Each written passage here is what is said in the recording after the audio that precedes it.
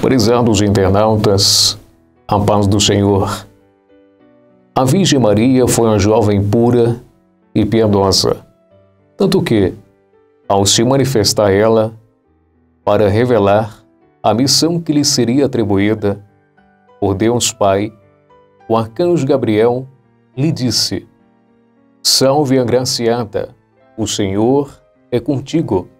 Bendita és tu entre todas as mulheres.